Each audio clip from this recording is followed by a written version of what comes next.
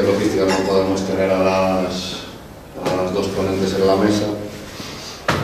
Eh, y bueno, ahora tenemos, una, tenemos a Marta Chávez, que bueno, como que antes se me olvidó comentarlo, como comentó María Ruiz, también es eh, partícipe del proyecto de edición de Walking Dead, con Ateneo de Villar, que vamos a tener mañana aquí también.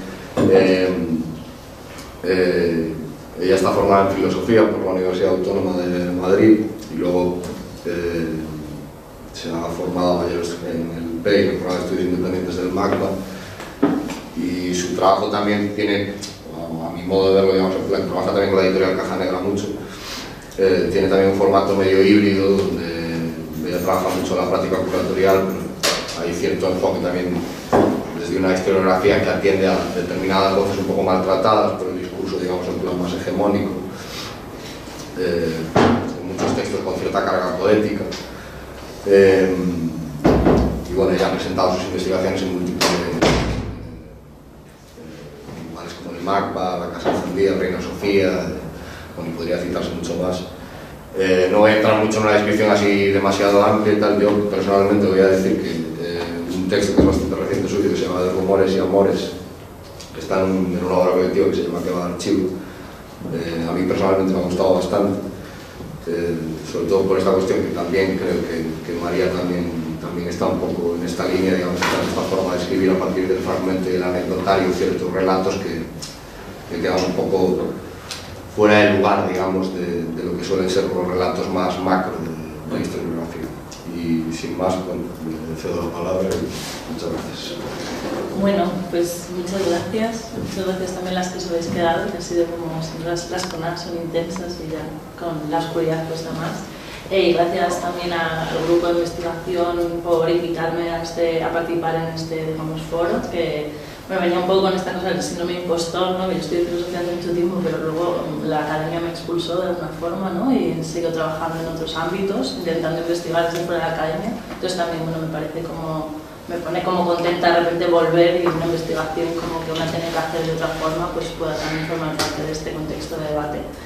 Eh, se, entendí un poco eh, la invitación venía sobre todo a partir del texto que escribí en este libro, Working Dead, el, el texto que escribí se llama Confiar de la vida y venía de alguna forma continuando una vía investigación que yo trabajé sobre la heroína y el VIH como síntoma, metáfora del contexto postdictatorial, el aterrizaje del neoliberalismo al contexto español. Entonces, cuando estábamos preguntándonos sobre el trabajo ¿no? y me tocó escribir como un texto, pues veía que lo más sincero que podía hacer era continuar en esa línea. Entonces, básicamente, mi pregunta en el texto con terapia química era si bien yo había identificado en los 80, los 70, la heroína era una especie de sustancia que consolidaba imaginarios en torno a la vida, el trabajo y una actitud política de la juventud, he decidido un poco estirar el hilo y ver qué pasaba la década de los 90 y los 2000 y luego 2000 y 2010. Básicamente yo entendía que el trabajo no solo subjetiviza, sino que moldea un cuerpo que es material y me interesaba mucho la dimensión bioquímica de la realidad de la fuerza laboral y entender desde que los albores, digamos, de la revolución industrial había habido siempre,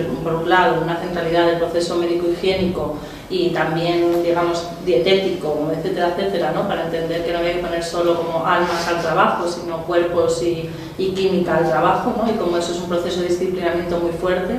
De hecho, cuando empecé la investigación me parecía muy interesante ver todos los relatos de obreros que no querían trabajar, ¿no? como que el relato no es triunfalista del trabajo, sino que en una, en una época, una etapa fuerte de domesticación, que vamos como olvidando, ¿no? y ya creo que las generaciones nuevas vamos al trabajo como con toda la ideología incorporada. Entonces me interesaba mucho esta cuestión de qué sucedía no solo a nivel de la subjetividad o los imaginarios o los idearios o las normas que, que, introyectamos respecto a un marco ético de la realización a través del trabajo, sino cómo se ponían a, trabajar estos cuerpos en tanto energía, ductabilidad, eh, fuerza, estado anímico, etcétera.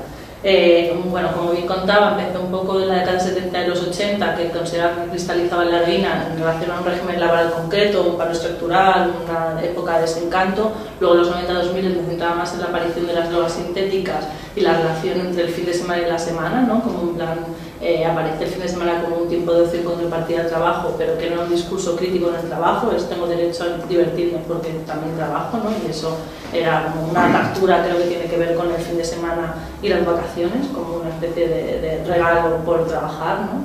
Y luego llegaba la contemporaneidad, ¿no? y la contemporaneidad lo que notaba, percibía, es que de alguna forma era muy difícil identificar una única sustancia que funcionase o operase como esta cristalización. Antes de entrar un poco en esta última etapa, que es lo que voy a hacer un poco hoy, es hablar desde el final de mi texto y preguntarle, bueno, intentar preguntarme desde hoy eh, qué le pasaba a ese final de mi texto, ¿no? Y diré que, vamos, básicamente planteo unas preguntas y algunos comentarios cruzando sobre todo con los últimos textos de Fischer, pero que no está acabado y esto es una especie de balanceo que no tengo muy claro, o sea, que no he tenido el tiempo real como de, de poder eh, asentar realmente como toda la investigación para mí fue muy importante para esta cuestión de la hipótesis de cómo pensar en términos bioquímicos la fuerza laboral, ¿no? Eh, toda la hipótesis de Preciado en texto Yonki, donde habla del régimen farmacopornográfico, y si bien creo que ha habido como mucho más debate intelectual en torno a la cuestión pornográfica y el sistema sexogénero ¿no? que, que, él eh, aborda en este libro, a mí me interesaba mucho quedarnos en el prefijo fármaco, ¿no? que me parecía fundamental para poder, eh, digamos, sostener como hipótesis. Entonces quiero leer un par de cosas, de citas de, de Preciado en esto y ya entro directamente a la siguiente fase. ¿no? Y describe, ¿no? Eh, si la nueva economía mundo, eh, refiriéndose al contexto neoliberal, no puede funcionar si la elaboración de nuevas variedades de psicotrópicos sintéticos legales e ilegales, Lexomil, Special K, Viagra, Speed, Prozac, Éxtasis, Popper, heroína o Mepazol, es porque la sociedad está habitada por subjetividades tóxico-pornográficas subjetividades que se definen por la sustancia o sustancias que dominan su metabolismo. Esto es posible, tal y como señala el autor, por la producción autofeedback de nuestra tecnociencia contemporánea. Pero al mismo tiempo que los sujetos somos, o que somos subjetividades tóxico-pornográficas, también Preciado apunta, que creo que esta es la otra cara, ¿no? que el verdadero motor del capitalismo es el control farmacopornográfico de la subjetividad todo aquel complejo material virtual que puede ayudar a la producción de estados mentales psicosomáticos de excitación, relajación, descarga, omnipotencia y total control. El cuerpo, adicto y sexual y todos sus derivados semiético-técnicos son el principal recurso del capitalismo postfordista. Por un lado tenemos la dimensión del nicho económico e industrial, ¿no? que posibilitan este régimen farmacopornográfico, pero al mismo tiempo como el sostén de la posibilidad de nuestra nuestro desarrollo, nuestra vida, nuestro trabajo en el contexto urbano. ¿no? Parece que sin drogas y con fármacos las actuales condiciones de vida laboral y urbana no se tolerarían. Entonces, como comentaba, ¿no? para mí hubo un momento que en la contemporaneidad me daba cuenta de que no había una única sustancia que me sirviese como metáfora, sino que la metáfora en sí misma era la práctica del policonsumo. ¿no? Entender más bien que era esta especie de ingeniería o gestión de las sustancias lo que determinaba nuestro tiempo. ¿no? Y ¿no? voy a leer también esta parte del texto, llegamos a la conclusión de que el policonsumo era el signo de nuestro tiempo, que no es que no haya una única sustancia que escriba nuestra contemporaneidad, porque probablemente esta tenía más que ver con la gestión del tiempo y las sustancias que con los efectos de una única droga. Esta cadena de automedicalización y consumo bajo prescripción apunta a dos cuestiones relevantes. No hay necesariamente una búsqueda de un efecto estable ni una necesidad de desborde o exceso, sino una ingeniería que pretende ir controlando y modificando una experiencia heterogénea que puede dilatarse haciendo indistinguible el tiempo productivo y el tiempo no productivo, ya que ambos solo difieren en matices que podrían ser controlables. Por otro lado, también nos habla de la sujeción a las sustancias como prótesis que nos permiten negociar o la sensación compartida de ansiedad ante la incertidumbre, estrés, debido a la utilización del imperativo de la producción, vacío ante la falta de tiempo y la ausencia de lazos afectivos estables, entre otras sintomatologías contemporáneas. La complejidad de la situación requiere una compleja alquimia que tiende progresivamente a farmacologizarse, cancelando lo que de subversivo puede tener el consumo de drogas cuando estuvo ligado a contextos contraculturales. ¿no? Y el párrafo final que es de donde voy a recuperar eh, las preguntas de hoy, decía, el panorama es este, o todos zombies, o todos politoxicómanos, o todos zombies politoxicómanos. Estamos solos, no tenemos tiempo y somos nuestro propio capital. La autoexplotación combinada con la ingeniería bioquímica parece nuestra única forma de supervivencia. He visto en casas de camellos a freelance enchufados a su ordenador trabajar durante horas aprovechando el insomnio y la concentración que les facilitaban las anfetaminas. He visto altos cargos de instituciones culturales ir y volver del baño al ritmo frenético que solo un adicto al polvo blanco puede reconocer. He visto influencers diagnosticados con depresión cuyo trabajo es estar de fiesta y retransmitirlo en Stories Direct mientras promocionan la marca de ropa interior que subvenciona su dependencia al éxtasis y al lorazepam. He visto a muchos trabajadores precarios y temporales aprovechar su condición de flexibilidad laboral para empalmar noches de fiesta de lunes a jueves gracias al exceso de oferta de ocio nocturno que posibilita que nuestras ciudades marca se posicionen en el mercado global. He visto entrepreneurs New Age defender el uso de nootrópicos para optimizar su mente y aumentar sus capacidades y habilidades sociales con el objetivo de ganar su reconocimiento como mejor trabajador del mes. Me he visto confiando en la piedad química para superar la ansiedad, el estrés, la incertidumbre, la sensación de fracaso y la soledad que nos rodea. En este sentido, hay una cosa que me parece interesante, que las sintomatologías contemporáneas, igual que María apuntaba, ¿no? de, la esquizofrenia, la depresión, hay para mí algo que es clave, que también tiene que ver con las sintomatologías contemporáneas, no tienen que ver con un antagonismo hacia el orden establecido, ¿no? o producto como de esa confrontación, sino que es más bien producto de la introyección de la norma ¿no? y, del, y, del, y, del, orden civilizatorio o del imperativo de la familia, el logro, la vivienda y el trabajo estable. ¿no? Y creo que también parte de esa, esa introyección de los malestares es lo que hace que haya una naturalización de los mismos y por lo tanto pone a disposición toda esa especie de saber que permite cómo combinar las sustancias. Y creo que se habla mucho de las sustancias farmacológicas o de legales, pero que pocas veces se habla de las sustancias legales que forman parte de esa cadena para mí de automedicación o de cuidados o de mantenerse como en, en un ritmo que, que permita seguir estando dentro del flujo neoliberal. Entonces, una de las preguntas que me hacía releyendo el texto hoy, que es un texto viejo, ¿no? en cierto sentido, aunque también al mismo tiempo creo que muchas cuestiones eh, siguen, bueno, están totalmente vigentes, era eh, que si tuviese tiempo preguntaría cuáles son los desarrollos de infraestructura tecnológica que están haciendo un cambio de paradigma respecto al consumo, la producción y distribución de sustancias. Creo que era algo que estaba más ausente en mi texto y que me parece muy importante. ¿no? O sea, decir, cómo el capitalismo de plataformas también está afectando a la producción, distribución, mercado y geopolítica de la droga y la farmacología. ¿no? Entonces quería apuntar como un par de cuestiones que me parecen interesantes, por un lado por el lado de las sustancias ilegales y por otro de las sustancias legales, que sería cómo posibilita la síntesis, una producción de droga eh, de nuevo cuño, es decir, ya no estamos en regímenes feudales donde hay un terrateniente que tiene unos territorios y cultiva y tiene unos trabajadores, entonces está todo muy asociado a unos territorios con unas condiciones climáticas ¿no? que posibilita eh, la producción, yo qué sé, sea cocaína, marihuana, opiáceos, y eso forma parte como de un entramado global y, geopolítico mucho más asociados a la, organización como más en términos de mafias, ¿no? y que todas las narcoculturas asociadas a eso, las narcoeconomías, sino que la síntesis lo que posibilita es generar drogas en contextos de laboratorios móviles que están en casas de personas que a lo mejor tienen determinado saber o acceso a determinadas sustancias y hay una cosa como de repente más invisible y menos, eh, eh, forman parte menos de una red jerárquica y por lo tanto es mucho más flexible y se descubre el laboratorio para aparece otro y luego de repente mezclado eso se hace en contextos mucho más cercanos, la posibilidad de consumir sustancias de Ámsterdam, no tienes que traer la cuestión de, ¿no? de Colombia, y creo que eso genera un cambio de paradigma como de distribución y de producción, pero al mismo tiempo también la aparición o la, o la bueno, ahora ya ni siquiera es en la Deep Web, ¿no? ahora puedes comprar drogas directamente en una página normal, pero también todo lo que implica Deep Web, el desarrollo de las blockchain ¿no? y la mensajería cifrada, para entender que también todo esto se agiliza de una forma y se hace como bajo demanda, es decir, al final todo el desarrollo que podríamos pensar del algoritmo de Delibero podría en algún momento ser un algoritmo que tiene que ver con no poder pedir a tiempo real al camello que esté más cerca porque tiene una geolocalización donde tú estás y donde está la persona. ¿no? De hecho, pasa bastante como en contextos de canales de Telegram donde directamente ya estás en el canal de Telegram y estás en contacto con una red de camellos y no tienes que salir a la calle y todos los peligros que, que a lo mejor suponía como también esta especie de contacto entre un, régimen ilegal ¿no? o un mercado negro y, y, tú en tu casa. ¿no? Y esto es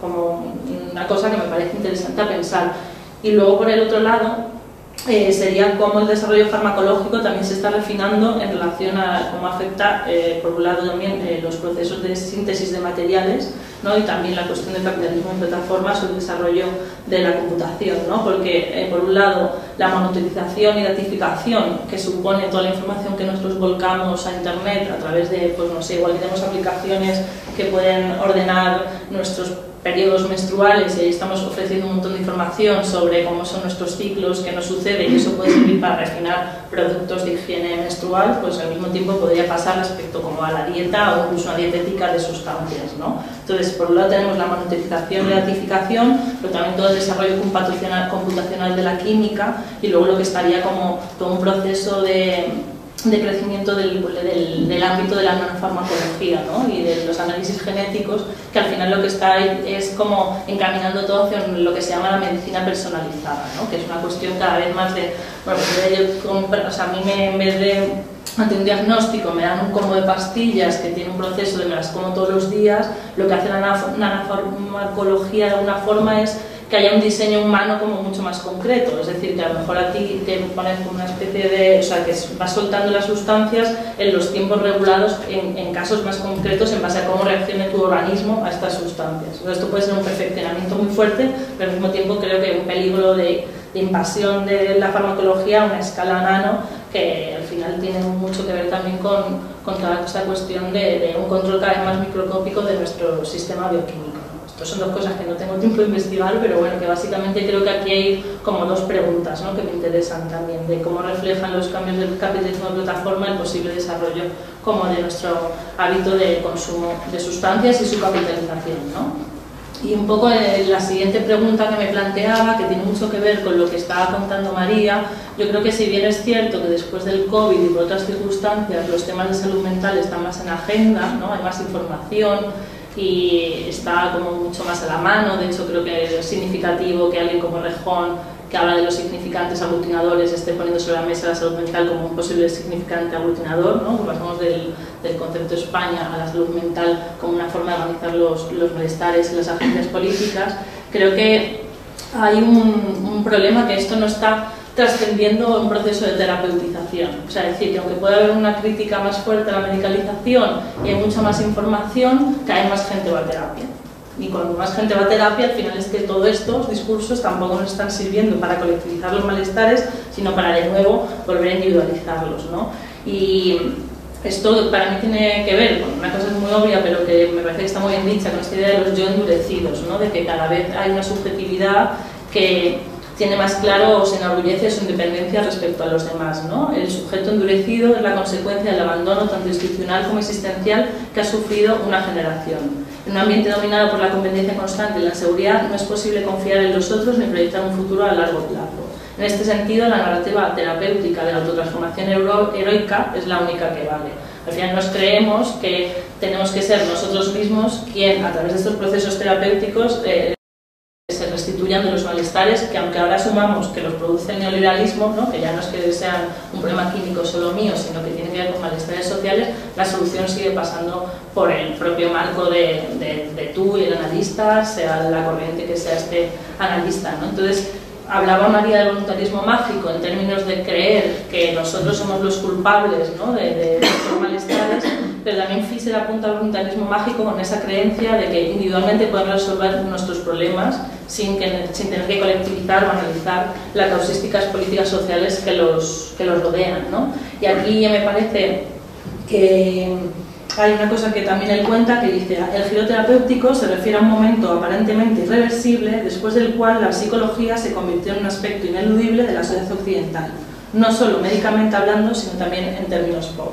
¿no? Y a mí me pasa un poco, esto ya es como otro material que me encantaría investigar, es que implica todo el auge de las cuentas de memes de salud mental. O sea, que por un lado estoy como súper a full de que se comparta tanta información porque creo que permite identificar más los malestares, pero me pregunto qué retórica se están usando y hacia dónde conducen y si eso está conduciendo a una retórica de empoderamiento colectivo o al final es una especie de, en vez de ir a terapia, te, dan, te hacen microdosis de consejos de terapia, ¿no? Eh, mientras consulto Instagram con las temporalidades que implica Instagram, o sea que es una información además que se consume y no se interioriza de alguna forma y que creo que hay un, a mí hay una cosa que me parece como muy peligrosa y es que tiene que ver con qué, qué gramáticas estamos desarrollando para describir nuestros estados anímicos buenos o malos, ¿no? Y creo que de repente en estos tiempos, como todo el mundo alrededor tiene una cantidad de categorías psicologicistas sin haber sido psicólogos, ¿no? de todos de repente somos neuróticos o de repente todos son límites o este tipo de cuestiones que me parece que son muy importantes poner a la mesa, pero al mismo tiempo me parecen como realmente,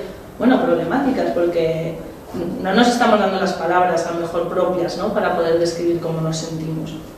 Y, y, creo que encima también esto se mezcla con marcos ¿no? de interpretación con el auge de contextos más de la astrología y la magia, que es que también súper pro de que haya saberes no normativos circulando, pero que creo que de nuevo nos genera imaginar de relatos psicologicistas muy concretos a la hora de entender nuestra vida, nuestras decisiones, nuestros marcos de deseos, etcétera, etcétera. Entonces, bueno, creo que esta cuestión del giro terapéutico y la medicalización del malestar ahora se le suma esta hiperterapeutización como un poco espacio de, de crítica, a mi entender, y no digo que esto no sea válido y sirva, ¿no? pero que creo que es importante. Entonces, en este sentido, eh, como bien señalaba también, ¿no? al final eh, la terapeutización o la medicalización surge en un contexto donde el debate de clase desaparece ¿no? y es muy claro, ¿no? y esto también está cogido en un libro de Jennifer M. Silva, ¿no? que, que, hace varias entrevistas a jóvenes precarios y trabajadores, que lo que muestran estas personas en sus relatos es un resentimiento de clase, pero que no se articula como un resentimiento de clase pero lo que hay de fondo es eso. Entonces, como todos los malestares, todo el rato están evitando el discurso desde la, la, cuestión o el conflicto de lucha de clases o de entender como que siga habiendo como una estructura muy rígida en relación a empleados y empleadores, ¿no? aunque podamos ser autónomos, pero al final seguimos como en estas estructuras donde unos proveen y otros como trabajan ¿no? de alguna forma. Fischer en su última etapa, que es un poco lo que voy a hablar, ¿no? de qué sucede con Fischer en sus últimos textos, que bueno, uno de los más conocidos es Comunismo Ácido, pero que todo tiene que ver con el marco de los escritos y las clases sobre el deseo capitalista, me parece muy interesante porque no tiene muchas referencias él en relación al feminismo y aquí las saca y es como para él la clave está en los grupos de autoconciencia. ¿no? Entonces recupera todas las prácticas de los grupos de autoconciencia de los años 70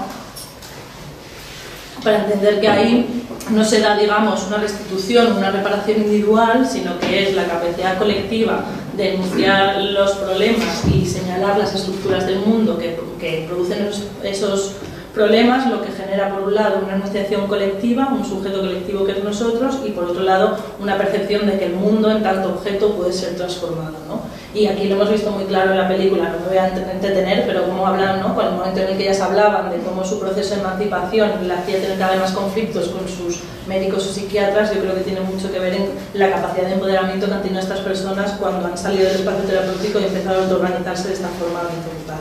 Y yo creo que aquí hay, ¿no? muchas veces habla de la necesidad de pensar otras formas de sindicato, pero yo creo que, por ejemplo, aquí la idea del grupo autoconciencia, si se replicase a una escala, bueno, una escala, ¿no? sino como se multiplicasen los vectores de donde podemos organizarnos en grupos de autoconciencia, habría una capacidad colectiva ¿no? de, de, interpretar y, por lo tanto, posiblemente transformar parte del mundo que me parece interesante. ¿no? Y al final también Fischer con, con este trabajo ¿no? y con, con, con este giro que da en esta última etapa, ¿no? atender a otra serie de, de, de, líneas de fuga, está todo el rato detrás de eh, aniquilar o, o, desplazar la idea liberal burguesa del sujeto individual, ¿no? que realmente es un sinsentido. Y aquí cito, no se trata de que debas cambiar a ti mismo, sino de que si no te das cuenta de que solo te puedes cambiar a ti mismo, cambiando el mundo que te rodea. ¿no? Entonces, ahora a partir de la hipótesis lisérgica lo que está trabajando todo el rato es como imaginarios o formas políticas que descentren el sujeto, la conciencia moderna o la noción de individuo liberal y burgués. Eh, es interesante también este último Fischer, para mí, cómo recupera algunos autores que, digamos, estaban de moda o que a Fischer no le interesaban desde su vertiente como más punk y pop, ¿no? como puede ser Marcuse, ¿no? y hace poco estaba leyendo un momento en el que Fischer recupera esta idea del gran rechazo de Marcuse, ¿no? como una racionalidad de la negación, la racionalidad en negar la realidad del realismo capitalista o de la realidad en general. Y traigo esta idea del gran rechazo por una cosa más anecdótica, pero hace poco estábamos conversando y me, me, hablaron de todo este movimiento que está habiendo en Estados Unidos que se llama la gran renuncia o el gran rechazo, se conoce un poco por los dos términos, ¿no? de mucha gente en Estados Unidos que está decidiendo no, no volver al trabajo. Que está claro que bueno, es una cosa post-confinamiento, post-COVID y que es un contexto como el de Estados Unidos, que probablemente aquí no sé, aquí aparentemente en Europa no está sucediendo, en España tampoco, pero sí me parece sintomático que estemos en un momento donde los empleadores se están dando cuenta de que los trabajadores pueden ejercer presión sobre ellos. ¿no? Entonces creo que que me quiero agarrar un poco a esta sensación, ¿no? o esta imagen que nos puede posibilitar este movimiento, de una forma a lo mejor casi más eh, usándola yo, ¿no? no es que sea tan real, pero decir, bueno, esto puede ser un síntoma de esta posibilidad de pensar que podemos rechazar las condiciones de trabajo tal y como estaban ahora o que se puede ejercer algún tipo de presión colectiva. ¿no? Y esto me sirve un poco para conectar con, con, el interés de Fischer sobre los 60 y los 70, ¿no? que era una década que él había impugnado y él tenía bueno, él habla mucho ¿no? de su hippifobia, ¿no? le interesaba mucho más el post-punk y la rave que pensar en la, los 60 y los 70, y yo creo que él vuelve a esta, a esta etapa sobre todo por dos cosas, por porque él ve ahí o vislumbra que hay una convergencia de diferentes conciencias, ¿no? la conciencia de clase, la conciencia feminista, la conciencia ecológica, la conciencia antirracista, y que ahí sí sea un momento donde todas estas tomas de conciencias están alineadas y están juntas, pero por otro lado porque también la, la, la, subjetividad de estas generaciones que estaban experimentando y explorando con otras formas de vida realmente tenía una actitud contra el trabajo. Y contra el trabajo en términos de que como no habían aún sido absorbidos por la idea burguesa o liberal de que el trabajo dignifica. ¿no? Entonces, cuando ellos, esto es lo que él quiere recuperar. Digamos que antes hablaba María Ruido de estos fantasmas, pues yo creo que en este texto lo que está intentando recuperar Fischer es el fantasma de unas generaciones que no quisieron trabajar o que se buscaron la vida eh, de una forma en la que se sentían dignificados sin tener que trabajar y sobre todo también que la movilidad de clase no les interesaba en este sentido o aparentemente no les interesaba, ¿no? que podían trabajar pero no era para formar parte de otra clase social y ascender, sino que bueno, que era una cosa de tener trabajos y ir apañándoselas de alguna manera.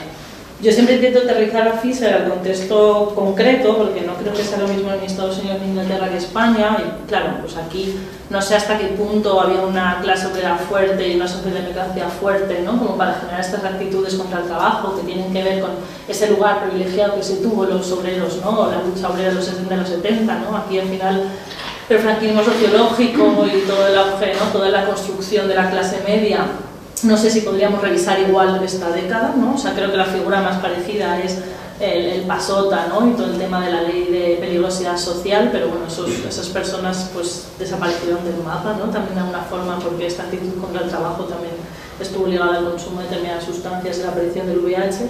Pero bueno, me parece interesante como que justo ahora, post-COVID, se den unas condiciones de que la gente dice que no quiere volver a trabajar y esta idea de Fisher o este ilusión de Fischer por recuperar el fantasma ¿no? antitrabajo de estas generaciones. Mm, bueno, entonces, claro, en, esta relectura de los 60 y los 70, lo que ve muy claro Fischer es que eh, frente a un relato que a veces se ha asimilado de que son las demandas de las luchas de los 60 y los 70, de la contracultura, lo que termina dando pie al neoliberalismo, como que son estos imaginarios de bueno, quiero trabajar menos horas, más flexibilidad, estas demandas luego son como el, camino para que el neoliberalismo aparezca, sino entender más bien que quizás el neoliberalismo es el gran esfuerzo para neutralizar esas demandas y esa capacidad de, de, de, experimentación con formas de vida que no pasaban por eh, la libertad para trabajar. ¿no? Entonces, el nuevo individualismo del neoliberalismo está diseñado para dejar atrás aquellas formas colectivas y hacer que las olvidáramos. Y aquí apunta algo que me parecía muy interesante y es que Fischer dice, ¿no? ¿Por qué no nos hemos dirigido hacia un mundo más allá del trabajo? ¿no? Y él dice que el capitalismo es un proyecto social, político y cultural cuyo objetivo es producir escasez. Y en estos términos habla de una escasez real, ¿no? que puede ser pues, la cuestión de los recursos que se acaban y que ya estamos como en esas, pero por otro lado habla de la escasez artificial, y esto me parece muy interesante porque una de las grandes escaseces artificiales es la sensación de que no tenemos tiempo. ¿no? Entonces él dice que eh, la producción de la escasez de tiempo es una herramienta clave del neoliberalismo para que de alguna forma eh, también el concepto de libertad se transforme, ¿no? porque ya no es una libertad de no trabajar o una libertad respecto a un trabajo, sino es la libertad a través del trabajo. ¿no? estos mecanismos de producción de escasez y de obstrucción de la capacidad de imaginación colectiva, del poder colectivo, digamos que son dos los puntos fundamentales ¿no? que Fischer apunta con respecto al neoliberalismo.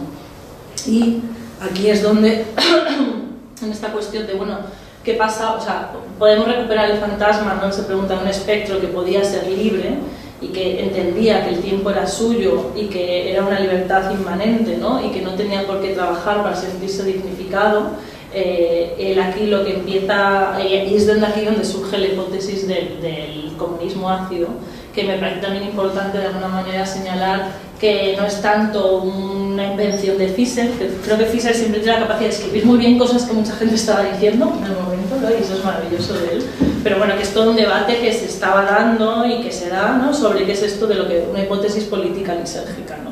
y que creo que es importante mí como atender a varias autoras y autores que están un poco en esta cuestión, que también me parece sintomático, ¿no? de por qué de repente reaparece esta cuestión de lo ácido en diferentes personas que tampoco necesariamente están conversando entre sí.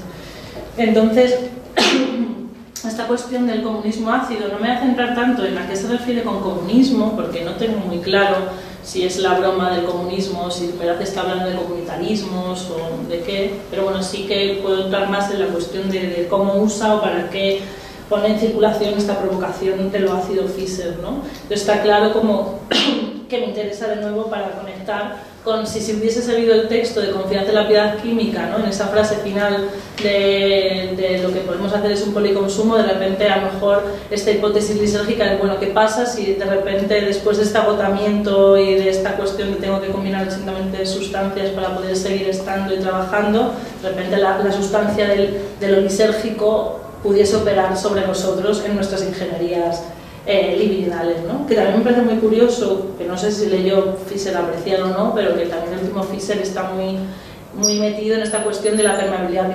biológica y el desarrollo tecnológico, ¿no? y él empieza a hablar mucho en términos de ingeniería libidinal y yo creo que por eso me interesa eh, la metáfora o el concepto de lo ácido, que más allá de que nos incite a tomar esta droga, que no va por ahí, es como intentar encontrar qué es lo ácido que puede haber en otras prácticas. ¿no? Entonces, lo ácido, la cultura psicodélica, ¿no? porque él también habla de todas las producciones culturales que podrían ser resultar directamente lo ácido, como también pedagogías hacia lo ácido. ¿no? no es que haya que tomar la sustancia, pero la gente que iba a un concierto de Jimi Hendrix estaba en un estado como ¿no?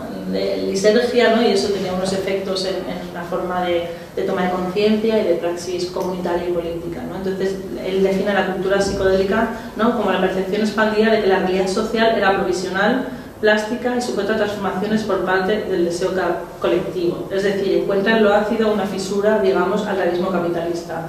El realismo capitalista no sería una piedra ¿no? donde no hay una fuera, sino que eh, lo ácido nos enseña que la realidad es inmutable y por lo tanto el realismo capitalista también puede transformarse. ¿no? Y al mismo tiempo, eh, lo que hace referencia ¿no? es una voluntad general por desplegar tecnologías materiales del no-yo de cara a explorar formas de conciencia y colectividad potentes, no limitadas por las formas ideológicas del individualismo liberal.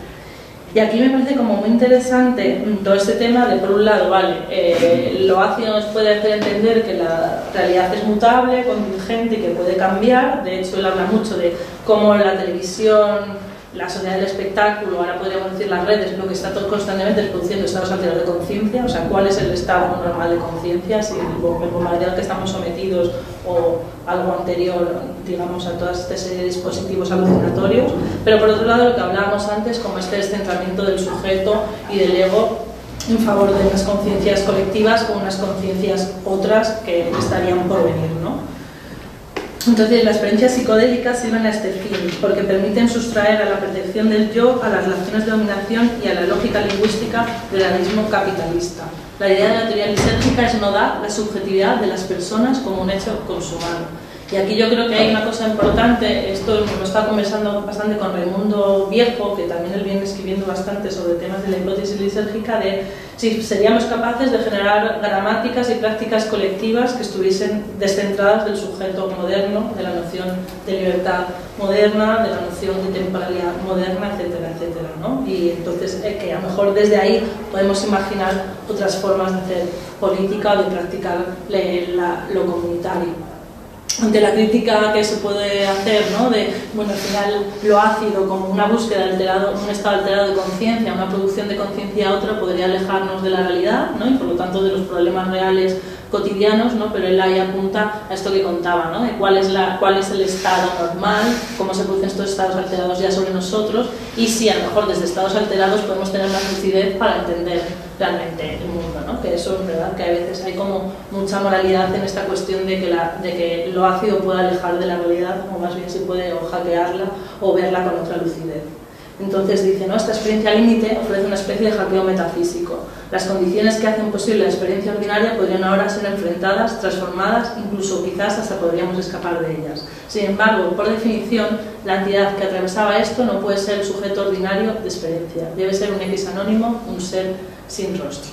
¿no? Y en estos términos también él apunta a esta cuestión de la neuroplasticidad y la posibilidad ¿no? de experimentar en este marco biomolecular con nosotros mismos, porque encima estas, estas otros, estos, estados estos otros estados alterados de conciencia o digamos esta otra reorganización biomolecular, la neuroquímica, también pone en evidencia, por ejemplo, que la temporalidad es un constructo, ¿no? Por lo tanto, si el capitalismo lo que intenta es eh, generar una escasez artificial del tiempo, estas experiencias nos hacen darnos cuenta de que el tiempo no es lo, lo, que el régimen neoliberal nos supone, ¿no? que sería siempre como la prisa y la falta de tiempo.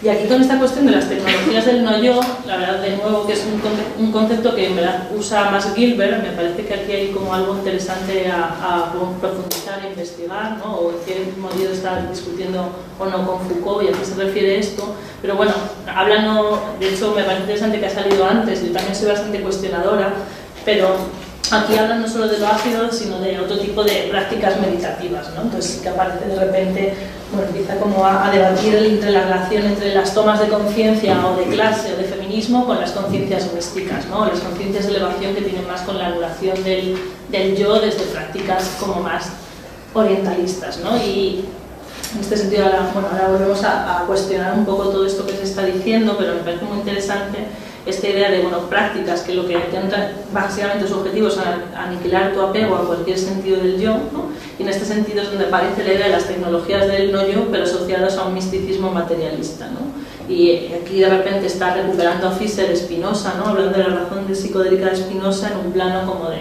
de inmanencia total, ¿no? que no necesitamos para ir hacia afuera eh, nada de afuera, sino que nuestras propias condiciones materiales, realidades materiales o nuestra propia cabeza ¿no? estaría la salida a, la encerrona del realismo capitalista.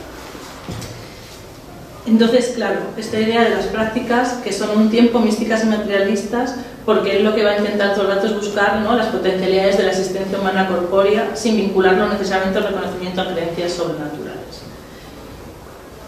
Aquí aparecen como todos los problemas del mundo, porque claro, como bien dicen todos estos autores, eh, estas tecnologías del no yo o esta idea de lo lisérgico puede ser, puede ser usado para fines del neoliberalismo, o sea, puede ser totalmente capturado. Y lo que está todo el rato es como invitando a que nos preguntemos de qué manera estas prácticas realmente están o no eh, afectando políticamente al neoliberalismo. Es decir, no pueden tener una función reparadora de uno mismo, de hago yoga porque así eh, estoy más tranquila y tengo más control de mi cuerpo mi conciencia y eso me sirve para ante los malestares, pues hago mis prácticas meditativas y me reparo individualmente, sino, pues de nuevo, como hablábamos un poco con el proceso de los grupos de toma de conciencia, tiene que servir para una colectividad y para una transformación del mundo. ¿no? Aquí se distingue, Gilbert propone un concepto que es lo de lo superterapéutico, ¿no? distinguir prácticas terapéuticas de prácticas superterapéuticas, donde más, más que arreglar a las personas reparando el daño infligido por la vida cotidiana bajo el capitalismo, avanzamos para que puedan seguir adelante, o sea, perdón, por superterapia me refiero a algo más que arreglar a las personas, reparando parte del daño infligido por la vida cotidiana bajo el capitalismo avanzado para que puedan seguir adelante con sus vidas. Me refiero a algo que puede tener esos efectos, pero también ir más allá, permitiendo a la gente empoderarse de forma extraordinaria precisamente gracias a mejorar su capacidad de tener relaciones productivas con otros.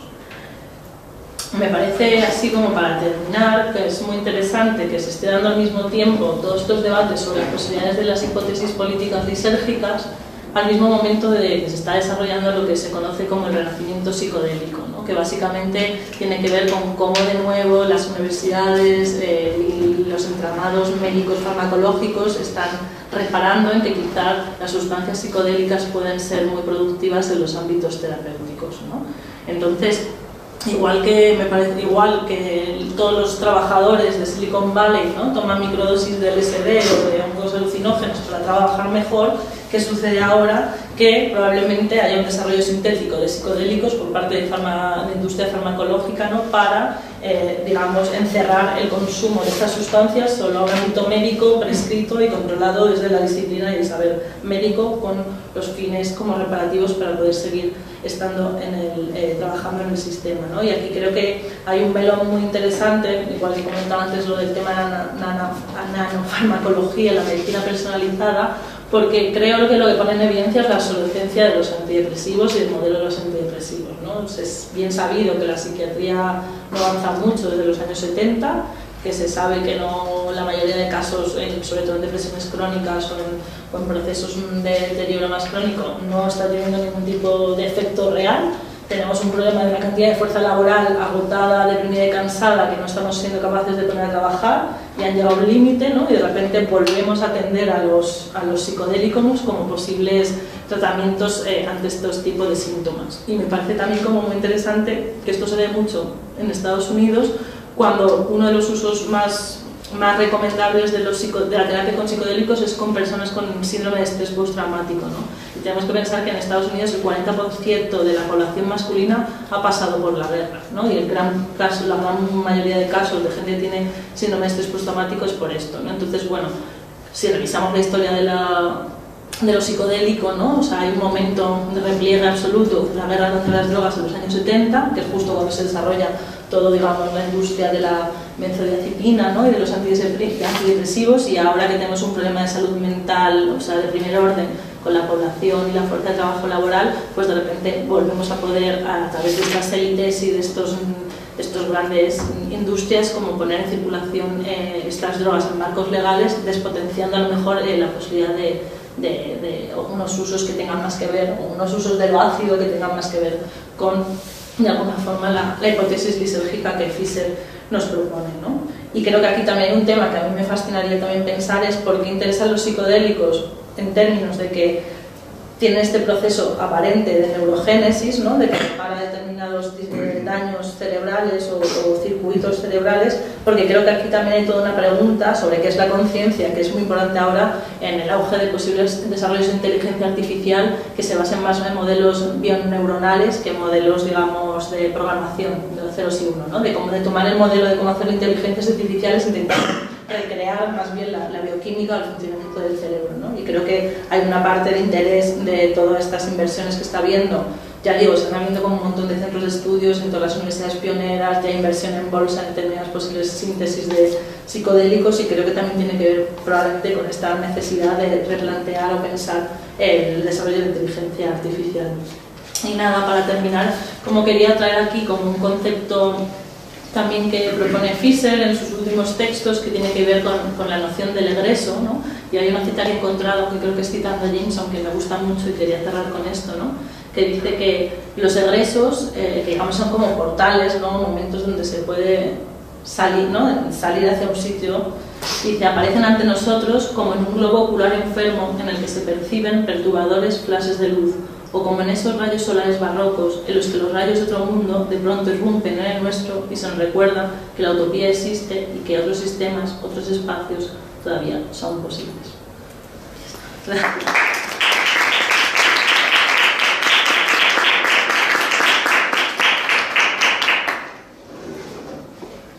Bueno, vamos algo apuradillos de tiempo, pero yo creo que si alguien tiene alguna pregunta o un comentario podemos, podemos establecer un debate no muy largo. Ahí. Yo tengo una bueno, más una, pero no va, o sea, bueno, enhorabuena, Marcos, me ha encantado, pero también mucho que se me escapa, o sea, no sé tanto sobre, eh, eh, bueno, sobre consumo de sustancias, entonces hay como toda una, como un hay como una parte un poco técnica de la, de, de la conferencia que me ha costado un poco seguir. Entonces, la pregunta no va tanto como sobre el concepto de consumo ácido, de comunismo ácido y de consumo, sino eh, por el tema de, del giro terapéutico. Que, y bueno, también esta pregunta que lanzabas sobre el boom de, bueno, eso como de nuestras redes, como redes pues, que están empezando a explotar todo este, toda esta terminología terapéutica, psicologista, pues eso, pues apego ansioso, seguro o evitativo, todo esto. Eh, y entonces eh, estaba pensando en el concepto de trabajo emocional, también como una forma de trabajo reproductivo y cómo esto también tiene que ver con el giro terapéutico o con, con la cultura terapéutica.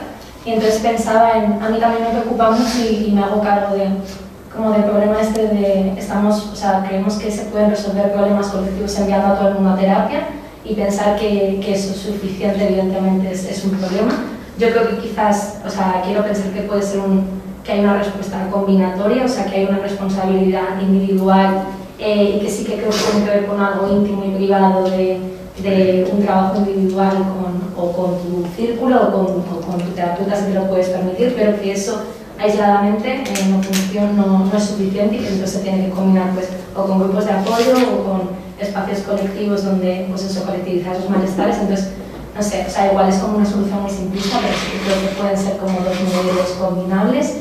Eh, y por otro lado, pensaba que el problema es que creo que eh, la terapia, el trabajo emocional eh, no, es, no, no es algo que sea individual a raíz del giro terapéutico, sino hasta qué punto no siempre ha sido algo individual que recaía en el trabajo emocional de mujeres, ¿no? Y por lo tanto también un trabajo emocional que tenía mucho que ver con un ámbito privado, individual y no pagado también.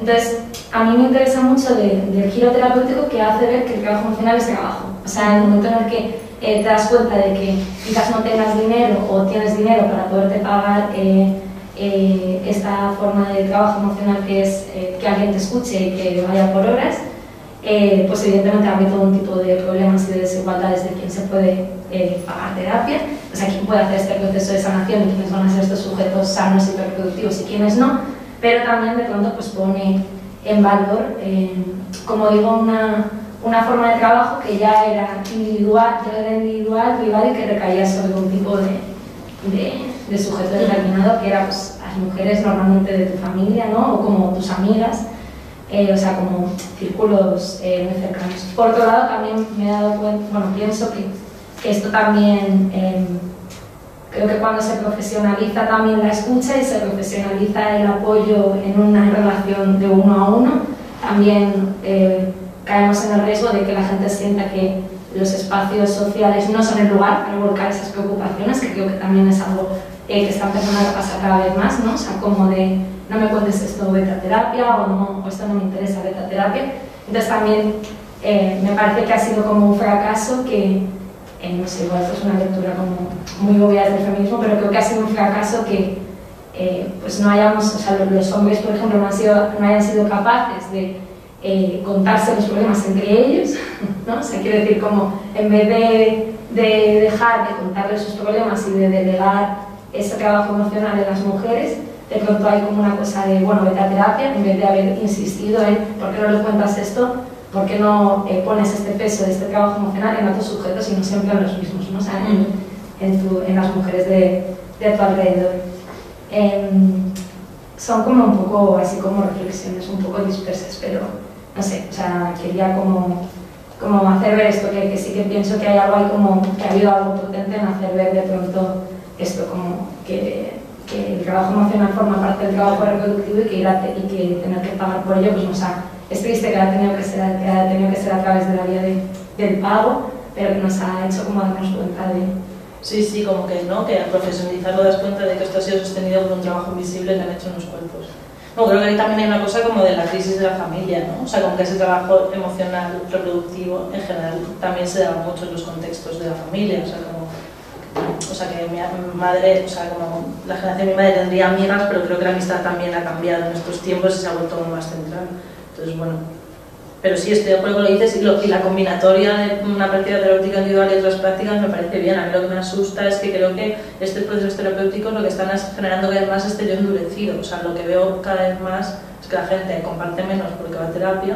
Mm. Entonces, y que luego los, los relatos que se dan en terapia están codificados de una manera que cada vez es más inaccesible sí, ¿no? Como, como amiga, ¿no? porque de repente aparecen como una serie de cosas a lo mejor ¿no? de elaboración más compleja o profunda en términos como intrafamiliares y tal, y que, nos, y que, y que gramática nos estamos dando para contarnos. O sea, es decir, como que veo muy poca actitud crítica con lo que sucede en el espacio de análisis, en verdad, de, la gente que lo hemos consumido o practicado, lo que sea. O sea, para mí lo que falta es, también una perspectiva crítica con tu propio proceso terapéutico y que necesitamos como agarrarnos a creer eso, porque es el, espacio que tenemos de, autocuidado y nos cuesta también cuestionarlo, ¿no? Incluso contarlo para que otro te dé otra opinión y entonces deslegitime a tu terapeuta, ¿no? O sea, que, que difícil es deslegitimar a tu terapeuta, ¿no? De alguna forma. Mm. Pero bueno, estoy de acuerdo como que no, no, no sé si hay que obviar el momento terapéutico, pero sí que creo como que en esta generalización tan grande o sea, porque obviamente hay gente que necesita medicación, hay gente que necesita terapia, hay gente que tiene una serie de problemas que a lo mejor pues, no lo podemos resolver los colegas, ¿no? eso está claro. Pero hay otras capas que creo que estamos terapeutizando y no colectivizando o politizando. no sé. Pero sí, lo del trabajo emocional me quedo pensando en si, si, si, si, hubiese más reparto y no desigualdad en ese trabajo, ¿lo llamaríamos trabajo o sería una actitud ¿no? Porque este es el tema, ¿no? que yo también trabajo más sobre el duelo, de, el duelo como una tarea femenina o eminentemente femenina, pero es que el duelo es un, es un, gesto de humanidad, no es, un gesto, no es un campo que haya que profesionalizar, no tienes que ser terapeutizado ni medicalizado, es una cosa que pasa, ¿no? vivimos, nos morimos, enfermamos y si no tenemos unas herramientas disponibles para gestionar eso, ¿no? o si solo está la mujer para gestionar eso, pero pensaría, o sea, si, me preguntas a ti sería, ¿seguiría siendo trabajo si todos tuviésemos estas actitudes y habilidades o, el trabajo, se define como trabajo para señalar la desigualdad del trabajo reproductivo y productivo? Claro, o sea, yo creo que forma parte de, o sea, forma parte de, pues eso, de la crítica feminista reivindicar que incluso se pueda llegar a, a, a poner un salario a, mujeres que pues, se, quedan en casa, que no tienen, ¿no? O sea, que no trabajan fuera de casa. Eh, o sea, que sí creo que, que tiene que ver con, con parte de, de, la crítica feminista a la... A que es, sí, al trabajo, sí. Pero si eso es un momento estratégico, para visibilizarlo o que todo tendría que ser trabajo, porque a ver, si todo es trabajo también a mí me agobio mm. en un punto, ¿no? Bueno, no sé, me sale un poco esta cosa de... Bueno, no sé.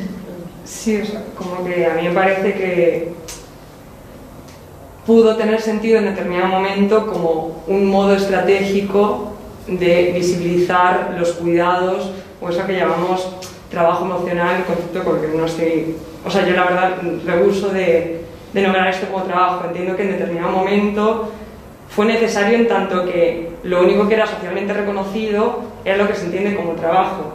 Pero a nivel de elaborar como una crítica, creo que sustantiva, al problema de, de, de la reproducción social, de los cuidados y demás, me parece que caemos un poco en una trampa que se ha puesto un poco de, o sea, creo que a raíz de, de pues bueno, de la importancia ocupado, por ejemplo, en España en los últimos años con el boom del movimiento feminista, Silvia Federici y tal, se han recuperado los, los debates de la socialización del trabajo doméstico, pero justamente, yo, o sea, yo no sé hasta qué punto eh, reivindicar, los, o sea, reivindicar los cuidados debe pasar por, por eso, por expandir la categoría de trabajo a todos los ámbitos de la vida, si justamente el problema es el trabajo. Entonces, con eso yo tengo como ciertas reticencias.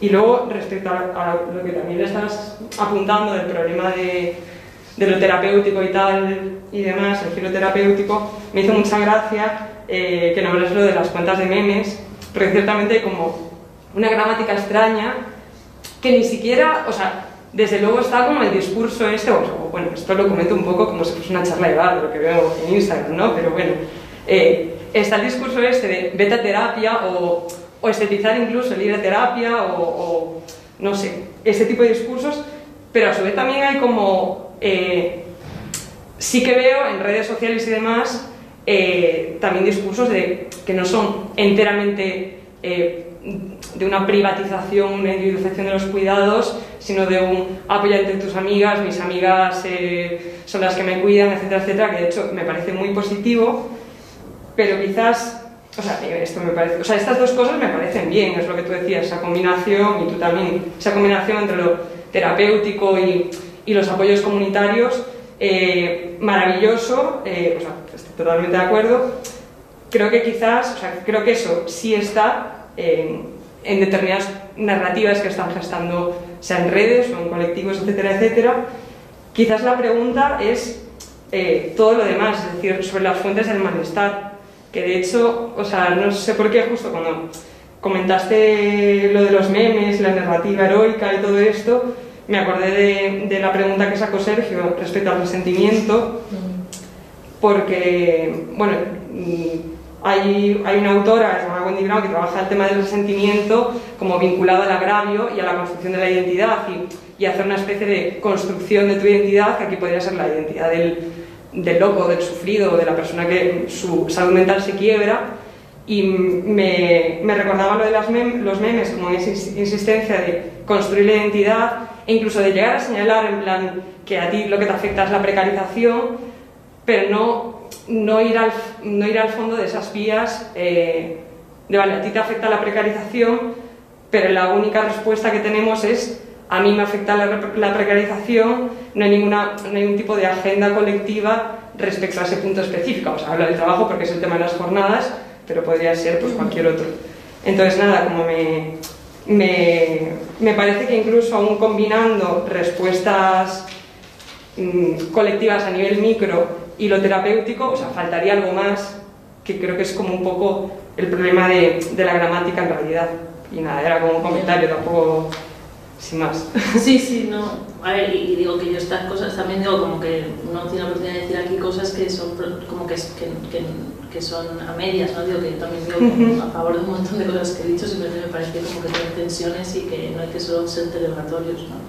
Sea, yo creo en ese sentido, a mí sí que hay algo que aunque parezca a lo mejor naif de, de este Fisher lisérgico, es que de repente no apunta tanto al resentimiento y al antagonismo, sino como a, a, a, esto que dice, vamos a centrarnos en cómo el capitalismo produce escasez y obstruye la idea de que colectivamente podemos hacer cosas.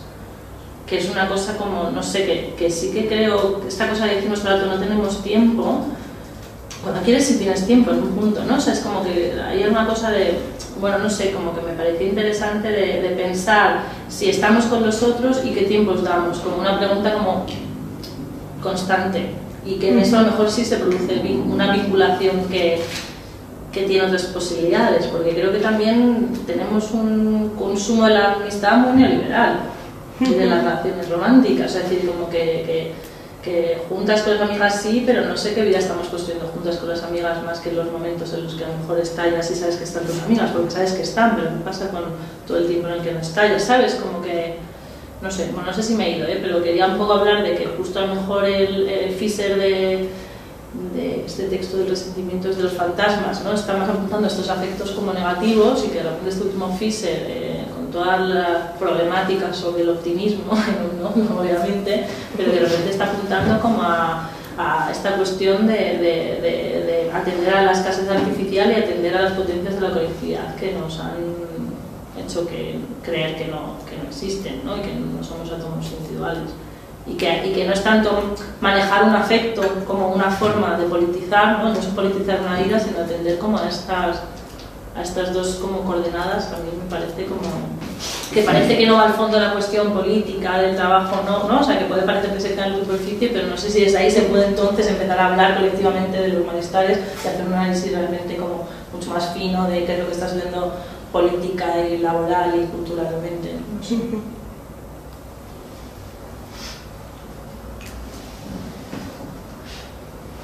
Y que creo que en ese sentido como que no pone la psicología en el centro de la política, de repente, como este marco tanto.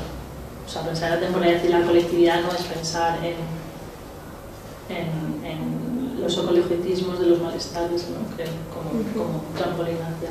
Y, o sea, de hecho, los referentes que él escoge David Smile y otros psicólogos críticos del Reino Unido precisamente no solo tienen una crítica al, a los modelos más biologicistas, sino que dicen las heridas que te produce el capitalismo son incurables, las terapias narrativas eh, son un fracaso, en cualquier caso lo que a ti te puede hacer estar bien es involucrarte en otras experiencias comunitarias mm. que te hagan salir de ese individualismo.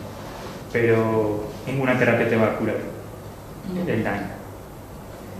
Y, y, creo que también en esa vuelta a, a, esa contracultura de los 70 y las experiencias de rechazo del trabajo, eh, creo que hay una crítica que es compartida con otros autores como Stuart Hall a, a, la experiencia gris del usuario medio del estado del bienestar, que se encuentra con, no solo con, al, con altas dosis de burocracia, sino también con un concepto muy estrecho de, de salud o de bienestar. Y quizá en, me ha gustado que que pusiera sobre la mesa el tema de o sea, los límites que tiene el giro hiperterapéutico, es decir, bueno, tienes problemas de terapia, o lo que necesitamos son más psicólogos para todo el mundo y que todo el mundo solucione sus problemas eh, con un buen sistema de atención pública. Eh, creo que precisamente en esa vuelta a, la contracultura de los 70 y a esas reivindicaciones o a esa retórica de rechazo del trabajo, eh, creo que es interesante fijarse también que en ese momento había determinados perfiles profesionales que estaban más politizados. Había también dentro de la salud, había médicos politizados, había una autocrítica de sus prácticas, había, ya, no, pienso solo en la antipsiquiatría, pienso en colectivos de médicos politizados en España, en Francia, en, en Italia, que tienen una crítica explícita al daño que produce, tanto a nivel físico, fisiológico como psicológico, el trabajo. Uh -huh. En terminología casi marxista, o especialmente marxista.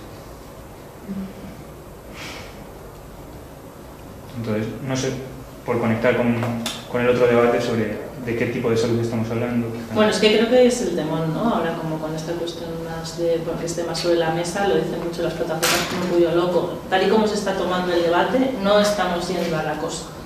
No sirve de nada que esté en la agenda política la salud mental y entender que hay que poner más médicos y todo eso, porque eso no está cuestionando el sistema, está simplemente infraccionándolo para que, bueno, pues sí, puedas tener una atención mejor, que está claro que hay un problema muy grave con toda la precarización del sistema de salud, eso está claro que ha producido mucho malestar también, ¿no? La, el desborde de atención primaria, etcétera, etcétera pero que es verdad que por eso digo como que, que estamos en una oportunidad interesante, porque estamos poniendo sobre la mesa las cosas, pero mi pregunta es con qué retóricas, qué vocabularios estamos usando. Y si estamos como dando la vuelta o estamos como...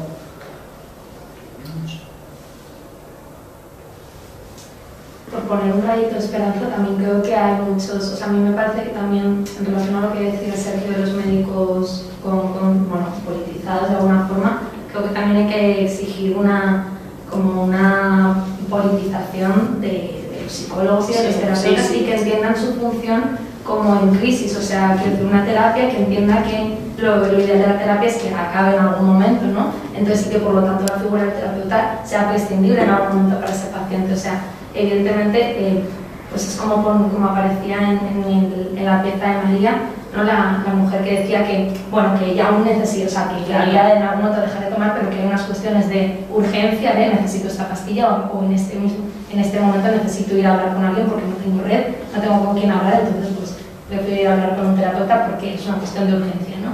Entonces, eh, creo que también hay como, no sé, por ejemplo, Rebeca Ibáñez, la hermana de Raquel, eh, pues, o sea, también forma parte como de, de esta red de, de psicólogos que empiezan a cuestionar cuál es su papel en reconducir a sus pacientes hacia movimientos sociales, ¿no? O sea, es como eh, que también en esta privacidad de la consulta eh, hay, hay, formas de hacer terapia que sean la del hipertecnicismo y contarle tu, tu análisis al paciente, que yo creo que puede ser bastante bloqueadora porque te puedes quedar en tus síntomas simplemente, ¿no? En esto pues tengo apego evitativo, tal, tal, pero que no te moviliza a hacer nada o eh, se puede tranquilizar al paciente haciendo ver que sus malestares son colectivos y sociales, que creo que es por ejemplo lo que hace mucho Rebeca, eh, y por lo tanto pues tratar de o sea, animar al paciente a que entienda eso como, como una cuestión de urgencia, pero que en última instancia lo que le va a sanar es colectivizarlo, ¿no? y que esto sea como una, sea una sesión un poco a uno a uno, eh, pero una conversación de carácter social o político con el terapeuta. Sí. O sea, y yo sí pienso que, como, que sí, hay gente que lo está haciendo. Pero estoy de acuerdo, pero ahí está como el pez que se mueve la cola. Pero yo tengo, por ejemplo, un amigo que trabaja en salud mental y me dice es que no puedo hacer el trabajo que querría, no tengo tiempo, yeah. todo está así. O sea, es decir, él dice es que tengo conflictos éticos porque sé que a veces estoy diciendo a este tipo que se tome esto porque me viene con esto, pues que no tengo tiempo, estoy yo también agotado, ¿no? O sea, como que ahí también es verdad que por mucha actitud crítica, yo conozco gente que trabaja en sistemas de salud con actitud crítica, hay una precariedad de su situación que, o, del tiempo de atención o de la saturación que, que tampoco está fácil. Bueno, que ahí está, siempre lo hablamos, de, que los médicos se organicen más también en términos de esto, ¿no? Lo que digo, que hay muy poca, ¿no? Hay muy poca, como, o sea, no es tan claro como que los médicos lo pasan fatal porque no tienen tiempo para atender a sus pacientes. No sé. ¿No? ¿Qué estado? no sé si hay alguna pregunta más. No, yo no. Hay muchas notas en plan de nada coherente.